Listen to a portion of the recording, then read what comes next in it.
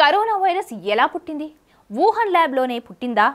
జంతువుల్లో జన్మించిందా? అసలు ఎక్కడి నుంచి పుట్టుకొచ్చిందనే దానిపై ఇప్పటికీ తలెత్తుతున్న ప్రశ్నలు ప్రశ్నలుగానే ఉన్నాయి.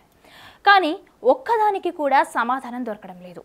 కరోనా వైరస్ విస్తరించిన తర్వాత వుహాన్ ల్యాబ్ నుంచి శాస్త్రవేత్తలు మాయమయ్యారు. దీంతో అమెరికా సహా చాలా దేశాలు చైనాలోని వుహాన్ ల్యాబ్లోనే కరోనా వైరస్ పుట్టిందనే వాదిస్తున్నారు. ఇంతకీ ఏం జరిగిందనే విషయం మాత్రం క్లారిటీ రాలేదనే చెబుతున్నాయి.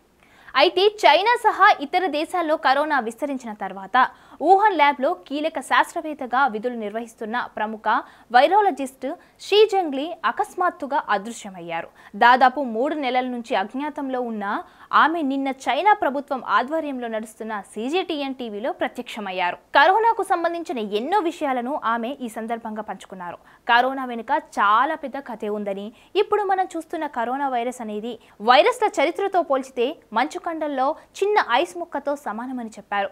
మనుషులకు హాని కలిగించే వేలాది రకాల వైరస్లు జంతువుల్లో ఉన్నాయంటూ బాంబు పేల్చారు. అయితే ప్రపంచం మొత్తం చెప్పుతున్నట్టుగా కరోనా వైరస్ అనేది వుహాన్ ల్యాబ్లో పుట్టిందన్న వాదనలో వాస్తవం లేదన్నారు.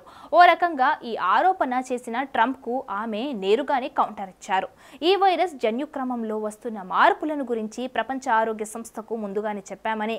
కొత్త రకమైన వైరస్ కాబట్టే నోవల్ కరోనా వైరస్కు సంబంధించిన శాంపిల్స్ను జనవరి పన్నెండునే ప్రపంచ ఆరోగ్య సంస్థ డబ్ల్యూహెచ్ఓకు సమర్పించామని షీజంగ్లీ తెలిపారు.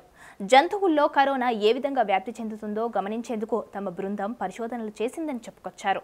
ముందుగా ఎలుకలు ఆ తర్వాత కోతులపై ప్రయోగాలు చేపట్టామని తెలిపారు. మనుషుల్లో కరోనా వైరస్ ఊహకందని న్యూమోనియా వ్యాప్తి చెందుతుందని ఈ పరిశోధనల ద్వారా బయటపడిందని చెప్పారు.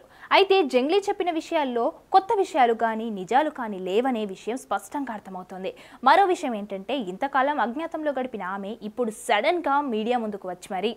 ఇవన్నీ ఎందుకు చెప్తోంది? ఏం మాట్లాడాలో ముందే ఆమెకు చెప్పారా? ఆమెతో కావాలనే నాటకం ఆడిస్తున్నారా? అనే ప్రశ్నలు బలంగా వినిపిస్తున్నాయి.